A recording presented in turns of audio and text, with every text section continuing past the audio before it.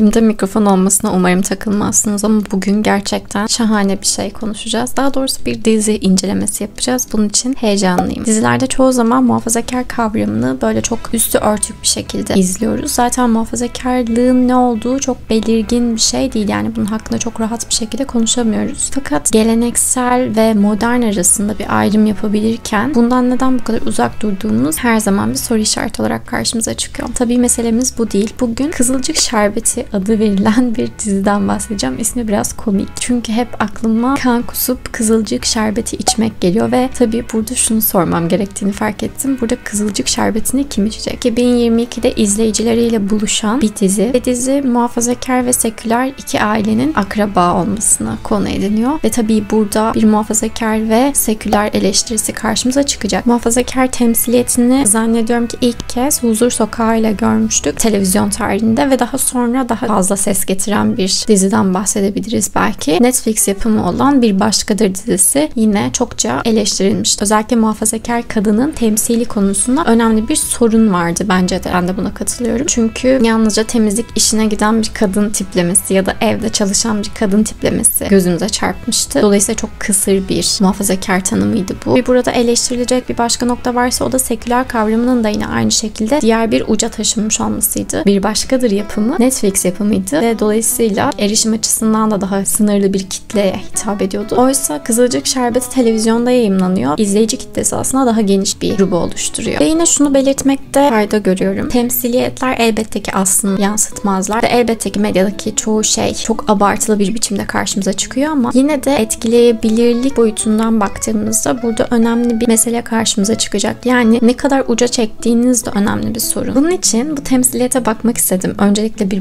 muhafazakar tiplemesi ve seküler tiplemesi nasıl karşı karşıya getirilmiş ve bunlar nasıl temsil edilmişler önemli bir soru işareti. Hemen lafı uzatmadan buna geçelim ve sosyal şeyler çatısı altında biraz inceleyelim istiyorum.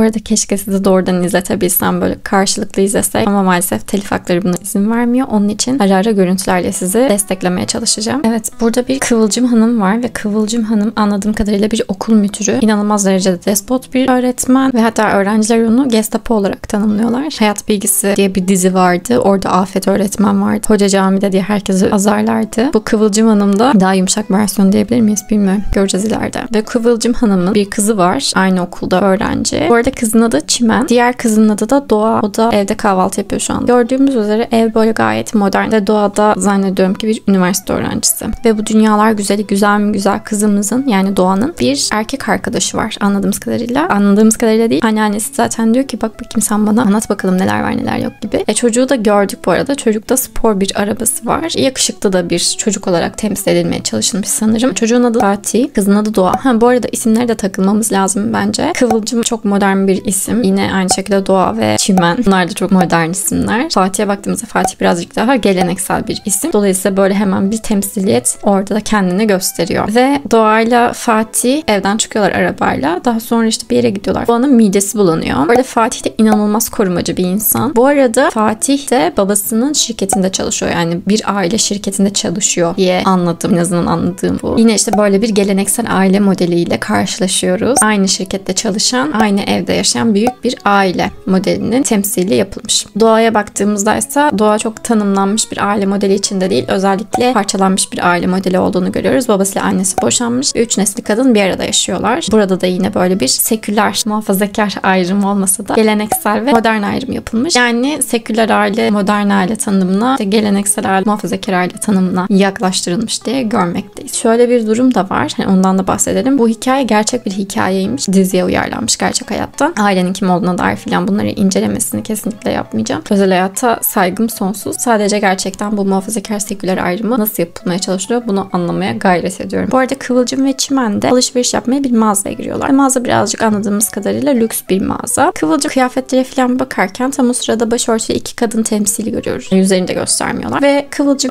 bunlar da her yerde gibi bir şeyler söylüyor. Hatta Çimen burada yerin dibine girecek neredeyse. Yani, Anne ne yapıyorsun diyor. O da diyor ki rahatsız oluyor alıyorlarsa eğer gitsinler başka yerden alışveriş yapsınlar. Ve burada gördüğümüz Kıvılcım tam anlamıyla gerçekten şu noktada bir ayrımcılık yapıyor. Bir Kıvılcım orada milleti eleştire dursun. Kızı bir taraftan hastaneye gidiyor. Hemen hastanede gebelik testi de yapalım mı diye soruyorlar. Yani hani biz evet şu an gebe olduğunu anladık ama kendisi henüz bunun farkında değil. Fatih'e hiçbir şey söylemeden evet yaptıralım diyor. Ve o akşam bir bakıyor ki sonuca evet hamileymiş. Doğa sabaha kadar ağlıyor tabii bunu öğrenince Fatih'e de hiçbir şey söyleyemiyor. Tabii bunu kimle paylaşacak? Hemen evde Çimen'le arası çok iyi olduğu için kız kardeşiyle Çimen'e söylüyor. Çimen de diyor ki eşimde ne olacak? Sonra Fatih ile konuştuklarında Fatih inanılmaz derecede mutlu oluyor. Dolayı biz evlenecek miyiz yani gibi hemen olayı pozitif bir yöne çevirmeye başlıyor. Zaten diyor böyle bir şey planlıyorduk. Zaten evlenecektik. Onu birazcık öne almış oluruz diyor. Sanki her şey çok normalmiş gibi devam etmeleri gerçekten çok enteresan. Neyse Doğa da tabii fiyonk oluyor. Bu arada sanki kader ağlarını örmeye başlamış gibi. Anneanne de bir taraftan kızınla hiçbir bağın yok. Kızınla çok uzaksın. Ona birazcık yakın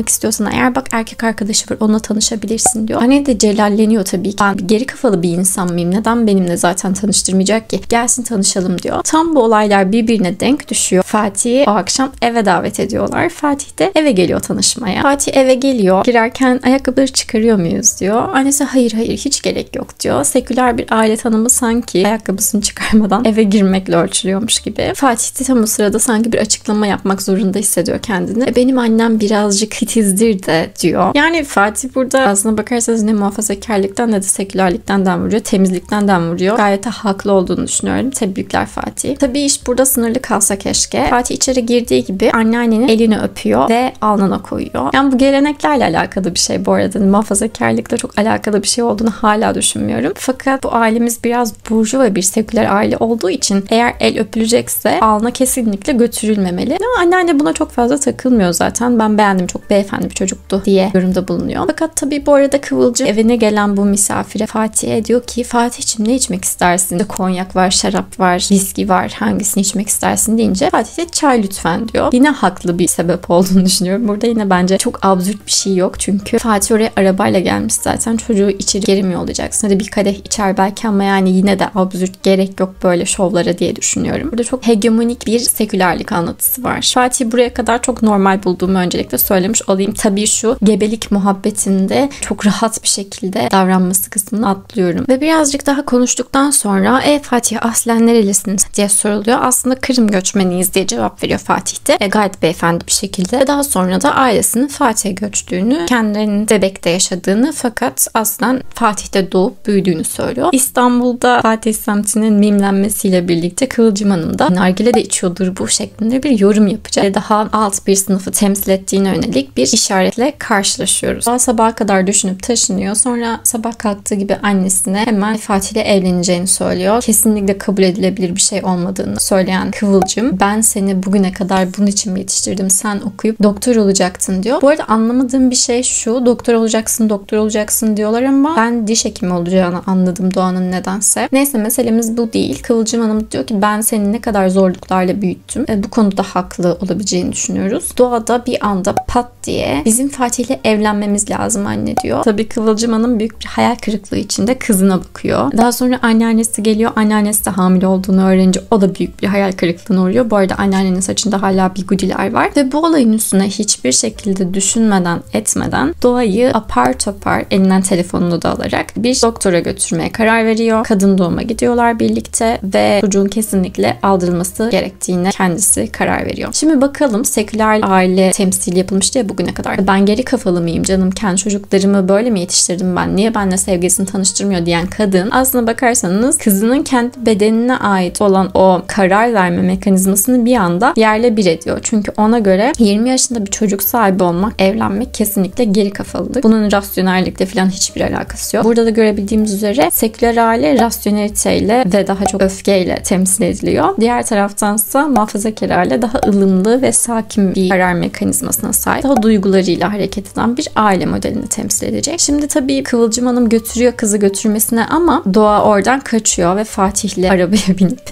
Fatih'in evine gidiyorlar. Ve Fatih'le Doğan'ın soluk aldığı ilk yer babasının yanı oluyor. Baba bu sahneler arasında en şaşırmayan insan. Oldukça sakin ve sükunet halinde olayları dinliyor. Ve Fatih de ondan evlenmek için izin istiyor. Durumu da anlatıyorlar. Doğan'ın hamile olduğunu. Yine anlamadığım en önemli önemli sorulardan biri şu. Yani geleneksel aile modelinde bir kere baba figürü böyle çok sakin durabilen bir figür değildir. Baba Eser Gürler. Hatta eğer bir tırnak içinde Türk ailesi tiplemesinden bahsedeceksek en azından şöyle der. Fatih ya biz seni böyle mi yetiştirdik diye. Ya da şunu sorgular. Annenin rızası olmadan kızım bu işi kadar aceleye getirmeyin. Biz bir büyükler olarak konuşalım filan. Hiç buna gerçekten hiç gerek görmüyorlar ve Fatih'le Doğan'ın evlenmesine hemen bu akşam bir dini nikah kıyılır. Yarın da eğer yapılabiliyorsa yıldırım nikahınız kıyılır gibi çok hızlı bir şekilde karar veriliyor. Yani bu ne geleneksel aile modeline ne de muhafazakar aile modeline uyuyor. Neye uyduğunu asla bilmiyorum. Bu arada Fatihlerin ev ayrıntısında atlamayayım. Doğan'ın aile evine baktığımızda çok modern bir çizgide mobilyalar görürken bu tarafta birazcık daha klasik, daha geleneksel bir aile evi görüyoruz. Fatih ile Doğa evleniyorlar. Kesinlikle hiçbir şekilde ne düğün ne nikah hiçbir şey çağrılmadı. Doğan'ın annesi, anneannesi ve kız kardeşi.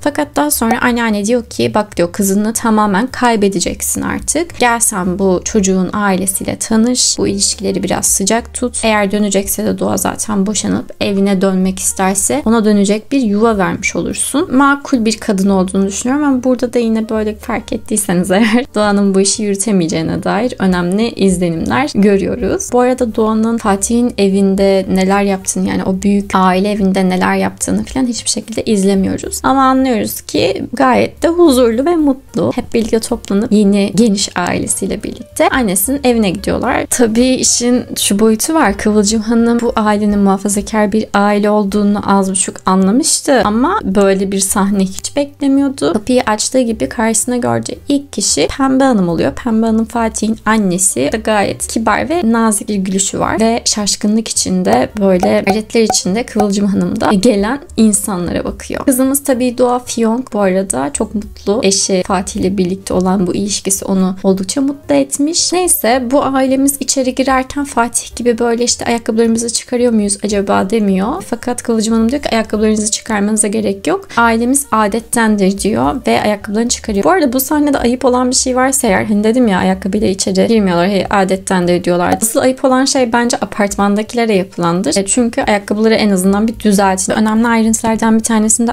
atladık. Bu Kıvılcım Hanım'ın çalıştığı okulda birazcık böyle herkese hırpalayan bir çocuk vardı. Onun babasını okula çağırıyordu ve fark ediyor ki kapıda meğer çocuğun amcasıymış. Bu arada Kıvılcım Hanım'ın bekar olması yani boşanmış olması ve adamın da aynı şekilde boşanma aşamasında olması klasik bir Türk dizisinde bize şunu hemen çağrıştıracak. Bu ikisi arasında da bir aşk başlayacak muhtemelen ve Kıvılcım Hanım da bu ön yargılı hayatını bir yerde bırakmak zorunda kalacakmış gibi hissediyoruz. Bu arada hazır eve tanışmaya gitmişken iki aile Fatih'in babası Abdullah'tı sanırım. Abdullah Bey diyor ki hazır gelmişken adette yerini bulsun kızım. Kahveleri yap istersen. Yani bir kız isteme merasimi gerçekleşecek. Kıvılcım Hanım'ın yine suratı yerlere düşüyor. Kıvılcım Hanım'ın iğneleyici laflarıyla devam ediyor. Abdullah Bey de diyor ki isterseniz daha açık konuşun. Aslında burada söylemeye çalıştığı şey şu. Bizim muhafazakar olduğumuz için eleştiriyorsunuz. Eğer bir sorun varsa bunu doğrudan söyleyin. Tabii Pembe Hanım mesela bunun muhafazakarlıkla ilgili bir sorun olduğunu anlamamıştı. Bir de dikkat çeken başka bir şey var. Fatih Kıvılcım Hanım'a Kıvılcım Hanım diye hitap ediyor. Fakat annesi Pembe Hanım hemen oğlum ne yapıyorsun? Anne diyeceksin bundan sonra dediğinde Kıvılcım Hanım hayır hayır bizim bunlarla hiçbir şekilde sorunumuz yoktur. İsteyen istediği şekilde hitap eder diyor. Burada çok üstten bakmış bir şekilde Pembe Hanım'ı e, aşağılıyor. Şimdi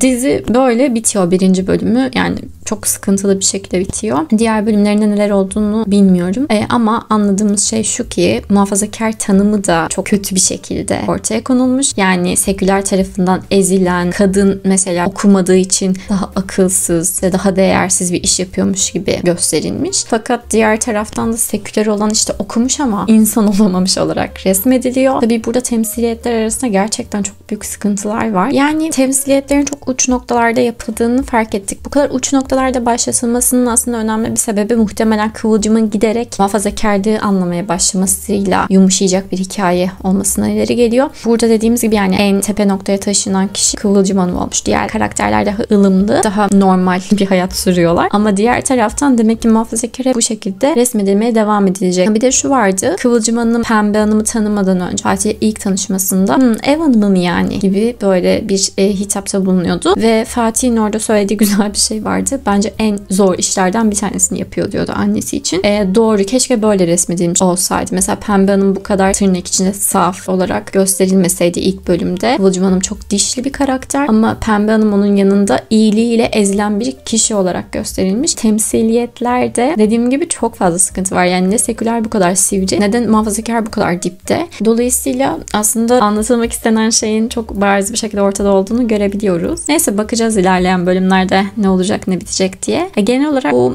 seküler ve modern ya da geleneksel arasındaki ayrımın çok oturmayan yerleri de var. Bu oturmayan yerlerinin daha makul, daha normal olduğunu bence söyleyelim. Evet Kızılcık Şerbeti'ni bu bölümde kimseye içiremedik anladığımız kadarıyla. Gerçi içen kişi Kıvılcım Hanım oldu. Evet merakla diğer bölümlerine de bakacağım. Uzun bir tarama yapacağım. Eğer bir video daha çekersem ikincisini eklerim. Eğer çekmezsem de yorumlara mutlaka güncellemelerini yazmak istiyorum. Çünkü gerçekten temsiliyetler meselesi beni birazcık rahatsız ediyor.